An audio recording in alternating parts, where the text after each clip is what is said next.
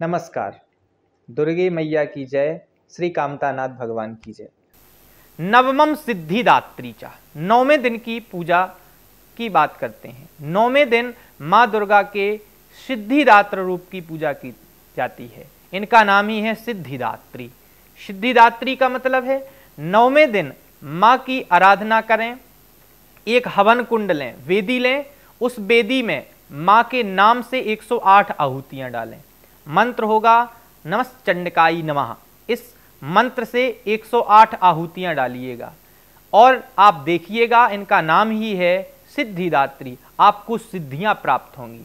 और यदि आप सिद्धियाँ अर्जित करना चाहते हैं तो इस बीज मंत्र से ग्यारह हज़ार जाप करें।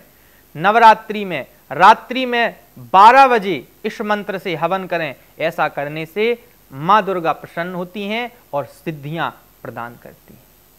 वामा के माध्यम से आपने नौ दिवसीय माँ दुर्गा के स्वरूपों की, उनकी आराधना की विधि को सुना। धन्यवाद। माँ दुर्गा, आप सभी पर कृपा बनाए रखें। आप सभी लोग सुखी रहें, समृद्ध रहें, धनवान रहें। वामा की तरफ़ से आप सभी को नवरात्रि पर्व की ढेर सारी शुभकामनाएँ। कामदगिरी पीठ से शुभाशीष। जय कामतानाथ की। माँ दुर्गे आप सब पर कृपा करें।